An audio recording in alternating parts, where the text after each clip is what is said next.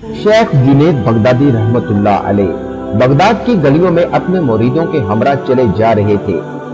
اچانک انہوں نے مڑ کر کہا، آؤ، صحرا کی جانب، کہ مجھے وہاں کسی سے ملنا ہے۔ مریدوں کو حیرت ہوئی، لیکن ان میں سوال کرنے کی جرت نہیں تھی۔ وہ خاموشی سے ان کے عقب میں چلتے گئے۔ دیکھا کہ ایک درویش محو استراحت ہے۔ وہ اپنے آپ میں اس قدر مگن تھا کہ اسے شیخ اور اس کے مریدوں کے قدموں کی چاپ بھی سنائی نہیں دی۔ شیخ نے ادب سے سلام کیا۔ حضرت بہلول، میرا سلام قبول فرمائیے۔ حضرت بہلول نے نگاہ اٹھائی، سلام کا جواب دیا اور شیخ نے اپنے بارے میں بتایا، میں جنید بغدادی ہوں۔ اچھا میں سمجھا، تم ہی ابو القاسم ہو۔ حضرت بہلول نے سوال کیا۔ حضرت جنید بغدادی رحمت اللہ علیہ نے نہایت ادب سے کہا جی آپ درست سمجھے۔ سنا ہے، تم لوگوں کو روحانی تعلیم دیتے ہو۔ حضرت بہلول رحمت اللہ علیہ نے پوچھا۔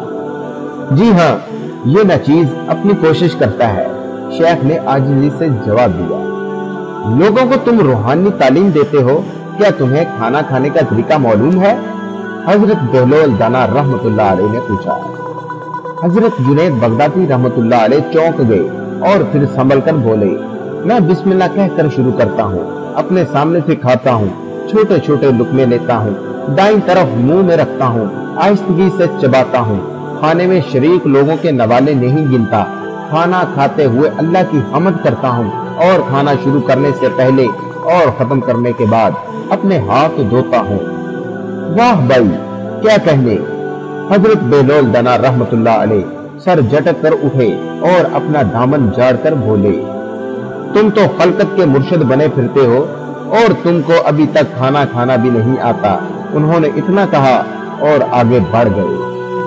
حضرت جنید بغدادی رحمت اللہ علیہ کے موریدوں کو، حضرت بیلول دنا رحمت اللہ علیہ کا اس طرح کہنا بہت ناگوار معلوم ہوا۔ ان میں سے ایک غصے سے بولا، یہ بیلول تو بالکل پاگل ہے، آپ اس کی بات کا خیال نہ کریں۔ شیخ نے سر ہلایا، یہ پاگل ضرور ہے۔ مگر ہزار دانش مندوں پر بھاری ہے۔ اصل حقائق اسی کے پاس ہے آؤ چلو، اس سے ہمیں بہت کچھ سیکھنا ہے۔ مرید حضرت شیخ جنید بغدادی رحمت اللہ علیہ کے ساتھ چل پڑے۔ حضرت بہول دنا رحمت اللہ علیہ اپنی دن میں مست چلتے چلے گئے۔ حضرت جنید بغدادی رحمت اللہ علیہ محتاط قدموں سے ان کے قریب پہنچے اور انہیں پھر سلام کیا۔ حضرت بینول دنا رحمت اللہ علیہ نے نگاہ اٹھائی، تم کون ہو؟ میں شیخ بغدادی ہوں، جو کھانا کھانا بھی نہیں جانتا، انہوں نے اعتراف کیا۔ حضرت بہلول دنا رحمت اللہ علیہ نے بے نیازی سے کہا، کھانا کھانا تو تم کو آتا نہیں، کیا بات کرنا آتا ہے؟ جی میرا خیال ہے کہ میں کسی حد تک بات کرنی جانتا ہوں۔ حضرت جنید بغدادی رحمت اللہ علیہ نے جھجک کر جواب دیا، سبحان اللہ! بتاؤ تم کس طرح گفتگو کرتے ہو؟ حضرت بہلول دنا رحمت اللہ علیہ نے پوچھا، میں اعتدال کی حد تک بات کرتا ہوں۔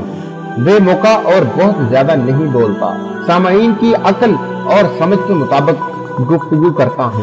دنیا والوں کو اللہ اور اس کے رسول کی طرف بلاتا ہوں۔ میں اتنا نہیں بولتا کہ سننے والے بیزار ہو جائیں۔ میں اپنی گفتگو میں ظاہری اور باطنی علوم کا لحاظ بھی رکھتا ہوں۔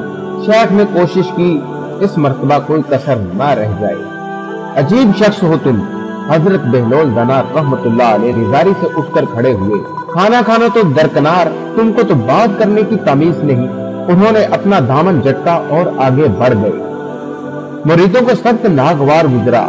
انہوں نے گور گور کر دور جاتے ہوئے حضرت بہلول دنا رحمت اللہ علیہ کی طرف دیکھا اور غصے سے بولے، یا شیخ، یہ دیوانہ کس قدر گستاخ ہے؟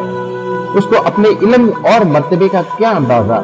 اسے اپنے حال پر چھوڑیے اور تشریف لے چلیے۔ نہیں، شیخ بغدادی رحمت اللہ علیہ نے کہا، یہ دیوانہ دانائی کا خزانہ اپنے پاس رکھتا ہے اور مجھے اس کی حاجت ہے۔ آؤ میرے ساتھ۔ وہ پھر بہلول دنا رحمت اللہ علیہ کے پیچھے چل دیے۔ کچھ دور تک بہلول اپنے خیال میں مگن چلتا چلا گیا۔ پھر اس نے مڑ کر دیکھا اور بولا، شیخ بغدادی، تم میرا پیچھا کیوں کر رہے ہو؟ نہ تم کو کھانا کھانا آتا ہے، نہ گفتگو کے اداب جانتے ہو۔ شاید سونے کا طور طریقہ بھی تم کو نہیں آتا ہوگا۔ بہلو دانا رحمت اللہ علیہ نے زمین پر بیٹھتے ہوئے کہا، حضرت جنید بغدادی رحمت اللہ علیہ بھی بیٹھ گئے اور بولے، میں جب عشاء کی نماز پڑھ کر ورد و وظائف سے فارغ ہو جاتا ہوں، تو سونے کے کپڑے پہن لیتا ہوں۔ اور ان اداب کو جو رسول اللہ صلی اللہ علیہ وآلہ وسلم اور دین کے بزرگوں کے تفیل ہم تک پہنچے ہیں ان کو ملحوظ خاطر رکھتا ہوں۔ کمال ہے، بہلول دنا رحمت اللہ علیہ نے کہا۔ ان حضرت کو تو سونا بھی نہیں آتا، انہوں نے اٹھنا چاہا۔ لیکن شیخ بغدادی رحمت اللہ علیہ نے دامن پکڑ لیا اور منت کرنے لگے۔ خدا کے لیے تشریف رکھیے اور وہ سب تعلیم دیجیے جو میں نہیں جانتا۔ بلا شبہ آپ درست فرماتے ہیں کہ میں کچھ بھی نہیں جانتا۔ بہلول دنا رحمت اللہ علیہ مسکرائے۔ جنید بغدادی پہلے تم سب جاننے کا دعویٰ رکھتے تھے، اس لیے میں نے تم سے کنارہ کیا۔ اب تم نے اپنی ناواقفیت کا اعتراف کر لیا ہے، تو تم کو سکھانے میں کوئی حرج نہیں۔ تو سنو، تم نے کھانا کھانے کے ادا میں جو کچھ بیان کیا، وہ سب فروعات ہیں۔ جب اصول کی اہمیت مسلم ہے، تو کھانا کھانے کی اصل یہ ہے کہ جو کچھ کھایا جائے، وہ حلال اور جائز ہو۔ اگر حرام زدہ کو ایک ہزار عذاب کے ساتھ بھی کھایا جائے تو وہ بے فائدہ ہے اور دل کی تاریخی کا سبب بنتا ہے۔ حضرت بہلول دنا رحمت اللہ علیہ نے بیان کیا، سبحان اللہ، آپ نے میری آنکھیں کھول دی حضرت جنید بغدادی رحمت اللہ علیہ نے فرمایا، حضرت بہلول دنا رحمت اللہ علیہ نے اپنی بات جاری رکھی۔ بات کرنے میں سب سے پہلے قلب کی پاکیزگی اور نیت کا درست ہونا ضروری ہے۔ اور وہ گفتگو خدا کی خوشنودی کے لیے ہونی چاہیے۔ اگر کسی دنیاوی کام کی غرض سے ہوگی، تو چاہے کیسے ہی الفاظ چنے جائیں، وہ مصیبت کی مصیبت ہے۔ اس لیے خاموشی ہی میں آفیت ہے۔ سونے کے بارے میں جو کچھ تم نے بیان کیا، وہ بھی فروعات میں ہے۔ اس کی اصل یہ ہے کہ سوتے وقت دل میں کسی بھی مسلمان سے بغض کینہ اور حسد نہ ہو۔ دل میں دنیا اور مال دنیا کا لالچ نہ ہو۔ اور سوتے ہوئے خدا کی یادوں میں ہو۔ حضرت شیخ بغدادی رحمت اللہ علیہ نے بے ساختہ اٹھ کر حضرت بہلول دانا رحمت اللہ علیہ کے ہاتھ کو بوسا دیا اور انہیں دعائیں دیتے ہوئے رخصت ہوئے۔ ان کے جو مرید حضرت بہلول دانا رحمت اللہ علیہ کو دیوانہ اور پاگل سمجھ رہے تھے، انہیں اپنے عمل پر شرمندگی ہوئی اور انہوں نے نئے سرے سے اپنے قلب کی روشنی میں زندگی کو دیکھنا شروع کیا۔